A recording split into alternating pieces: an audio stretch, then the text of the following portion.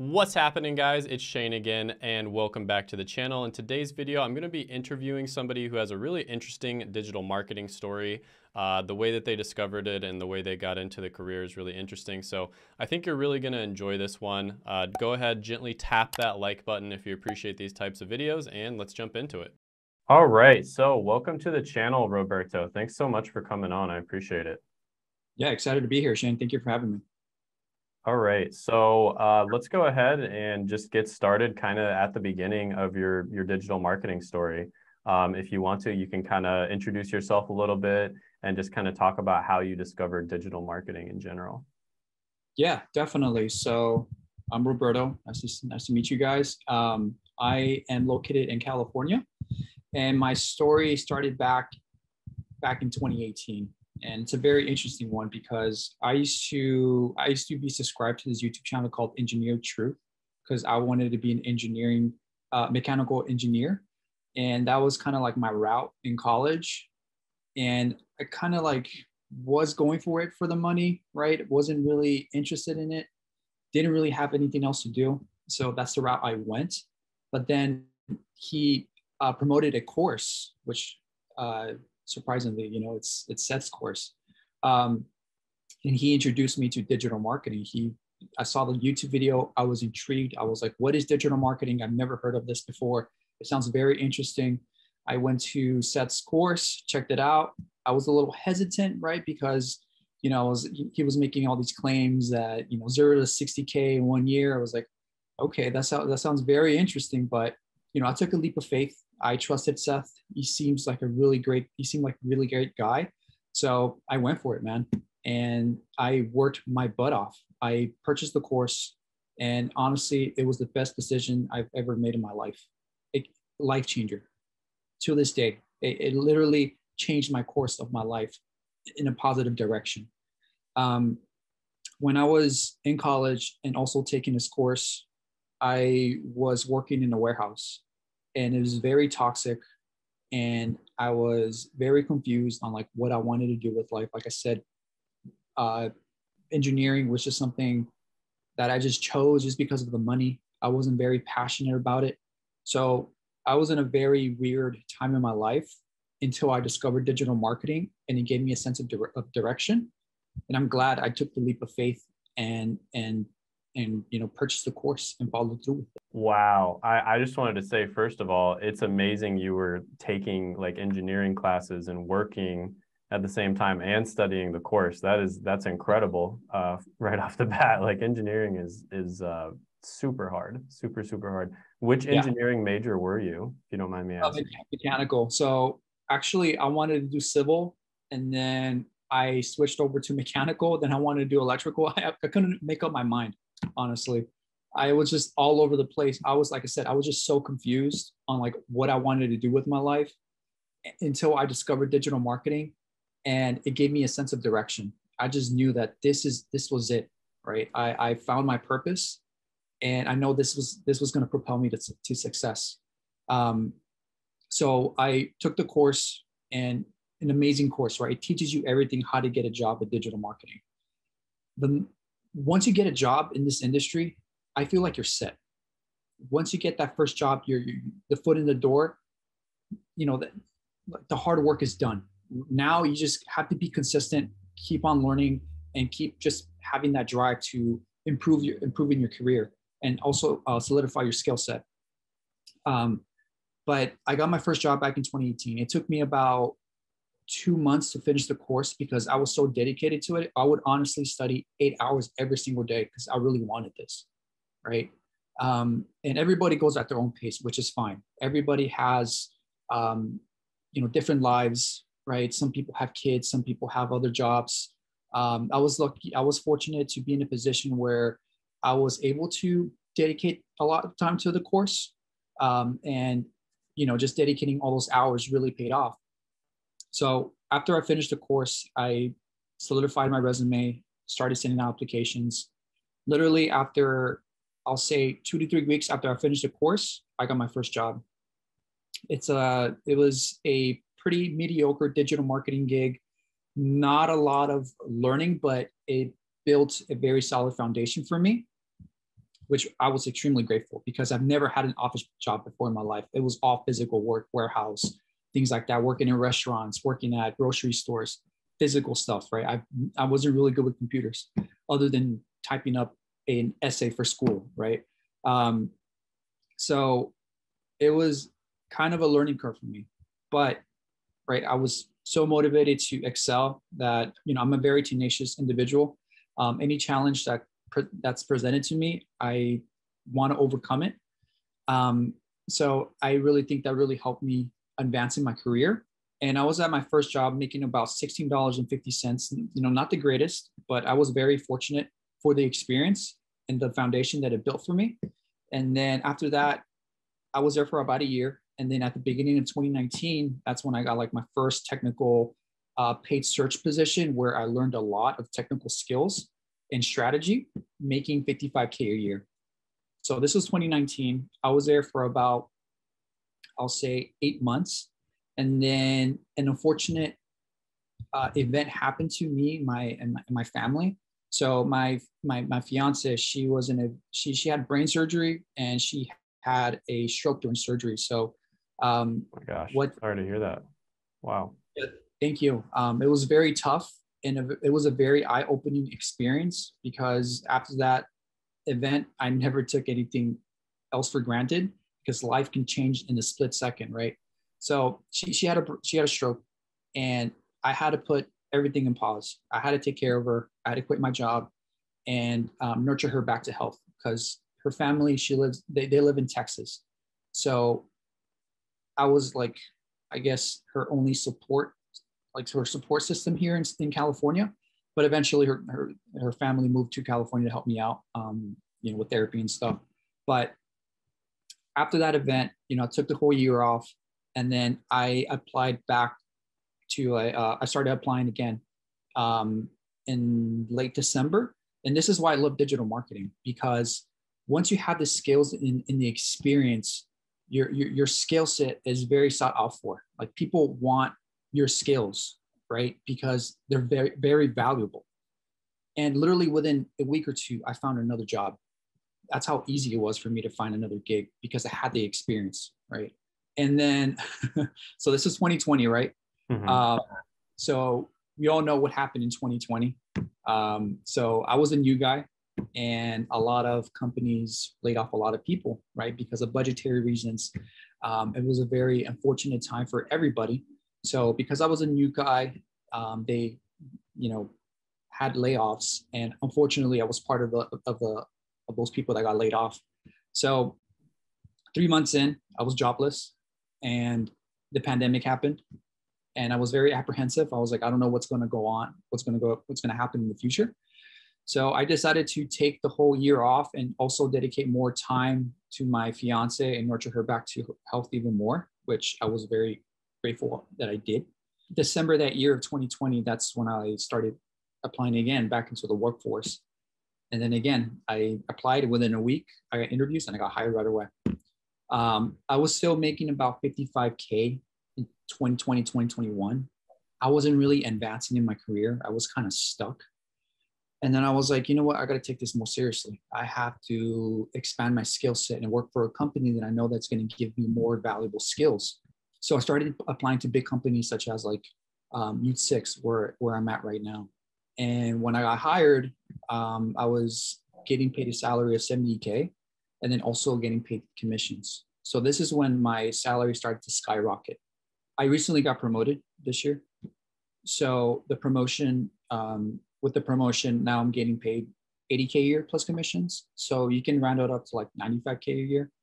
Um, and then also I have my own side clients, right? So Mute 6 really helped me solidify my skills even further than what they were previously. I thought I knew PPC, but once I joined Mute 6, man, I learned a lot more. It's hmm. crazy how much I've grown the past year in terms of like client communication, technical skills, strategy, holistic strategy, everything and that really made me super confident to like go out there and get my own clients right i currently have three clients that collectively um, i make around $5000 um, just from those three clients so now i'm like there's a lot of potential in this space, right? I mean, you Mhm. have potential to make a lot of money working for a company, but once you get really good at this, you can start generating your own clients, right? Start Yeah. making more, which is crazy. Um, I didn't know how much potential there was um, in, in these skills. So, in terms of like salary, right? Just to give you like a ballpark of how much I'm making, or just like a projection of how much I'm going to make if everything goes right. Um, in terms of like client retention and stuff, um, I'll say I'll be making about 140 to 150k a year. Um, and I want, and I know there's potential to make more. So I'm starting like my own, I'm building my own website. Um, I want this, I want to take this very seriously because I, I, I know the potential is there and I know I can do it. Mhm. Um, if you asked me like two years, a year ago, even like two years ago, if I would have like my own side clients, I would say, I just, I just don't feel comfortable doing that just yet. Mhm. But like I said, this past year I've grown so much with with Mute Six. They've given me a lot of, they've taught me a lot of valuable stuff that I, I can apply elsewhere in terms of like just generating my own clients, um, which I'm so fortunate for. But yeah, man, that's like pretty much my my my story and like very briefly. Um, that's that's what's been going on with me these, these past few years. So, in terms of like work life balance, how is digital marketing, especially your current job, uh, versus say like the warehouse job you were working before? yeah it's like night and day right so luckily i work remotely so i say a lot of like i don't have to do traffic um, i don't have to get up early in the morning take a shower get ready um, so in terms of like that i have a lot of time a lot of extra time for me to put into like my side business and then also digital marketing is really big on or a lot of companies or digital marketing companies they're really they're really big on like just work life balance right they care a lot about your mental health. And there's a lot of studies on this, right? When work life balance is a priority, productivity tends to be a lot higher. Um, and in result, people are a lot happier. Um, Mhm. at Mute Six, right? They're a huge believer in work life balance. Um, but in like generally, just digital marketing in itself, in terms of like work life balance, it's amazing warehouse i mean i have to be there nine to five maybe work overtime um it, i mean it, it wasn't ideal to be completely honest with you and i understand like i was that person who would go home and just be exhausted i don't want to do anything else um, but digital marketing it just just motivates me to do more um, and then despite like me having like a side business and then having a full-time job i could still put time to myself and do things that I love doing. For example, like going out on a hike if I wanted to at 11, 11 in the morning um, because of like my work flexibility. Um, you just have to have good man- time management skills and be very organized. Um, for example, like if I have a client meeting at 3 p.m., you know, I have time earlier in the morning for me to do whatever I want to do. Maybe go off uh, to breakfast with some friends, catch up. Um, you know it's just work life balance when it comes to digital marketing is amazing um, from my personal experience of course not every single company is like that but the majority of them do promote uh, work life balance as like a priority for for their for their um, employees I did want to ask you one more question. So, somebody who's kind of on the fence about taking the course, they're like, they've seen it, they've seen all the interviews, they've seen like overwhelming evidence that it works. You know, like so many people have gotten results from it, uh, but they're kind of just on the fence. What would you say to that person? yeah just do it i was the same i was in the same position. Um, just take a leap of faith. If you're in a position where you see no future in your current job um, you're confused about what you want to do this is it. This is your sign to do it. You found the course um, and what's amazing about seth's course you have so much support. There's a lot of people out there taking the course um, and they they all support each other. We all come from different walks of life right? Um, but the support is what is if that's what's something that's missing that's something that you know seth's course is going to provide. But just take a leap of faith trust me work hard on it be consistent and don't give up. Eventually you are going to find your first position, like your first job in digital marketing. Um, and honestly, like I get hit up a lot, like on LinkedIn, um, Facebook, um, and just just asking me for advice. You can come to me for advice um, as well. The alumni are so helpful. There's a lot of alumni out there that are willing to help, and because we're so passionate about about helping others, because Seth is the one that helped us find ourselves in terms of like careers. Um, we'll be there for you too. What would you say, I guess, to because I do have a lot of engineering students that follow my channel. Mm-hmm. So, like an engineering student who's kind of doing it for the same reason, like they they basically they looked at college degrees and they were like, okay, most of the college degrees are not worth it. So I'm going to do engineering because I know that engineering is worth it, which I would agree, engineering is worth it. Um, but they're doing it for the wrong reasons. Like they're in engineering just for the money they're doing it for purely just like a logical reason and they're just not enjoying themselves what would you say to that person yeah if, if you're not passionate i wouldn't go for it to be completely honest with you i i was in the same boat right i wanted to become an engineer but for the wrong reasons for the money because they have potential to make good money and i feel like also for like digital marketing like your in terms of like progression in your career, like your title, it goes by so fast. Like, like for example, I know a couple people like in a few years they became directors, right? Wow. And it's, it's crazy. Yeah, the pro- like the progression is super fast. I've never seen it before, and like this is the only industry I've seen this. Um, you know, there's people working their whole lives at McDonald's, and you know they're not even like regional managers. I know it's it's crazy. Mm-hmm. Uh, so if you're not passionate about engineering and you're just there just because just you know just to make money or you know just i, I wouldn't say don't do it um, digital marketing i can promise you it's a lot funner um, it's not as math intensive unless you're passionate right if, unless you're passionate in engineering i say go for it like mm-hmm. i love math i love structures i love mechanical stuff how things work go for it, right? It, mm-hmm. It's whatever makes you happy. But if you're on the fence, you're just not sure, like, I don't know if I'm gonna like this. I don't know if I'm gonna succeed in this, or I just I'm just doing this just for whatever reason. I, personally I wouldn't do it. Save your money, invest it on the course, and trust me, you're you're gonna kick kickstart your career a lot quicker, and you're gonna progress so much faster than you would going into engineering, right? Um, but that would be my advice. And I don't know what it is it is about digital marketing. They always attract really good people. And I've made lifelong friends working in this industry. Um, and it's just like, wow, this this is great. And working in like the warehouse and the restaurant business, you always find very toxic people. um, but I've not had a bad experience in this industry in digital marketing ever.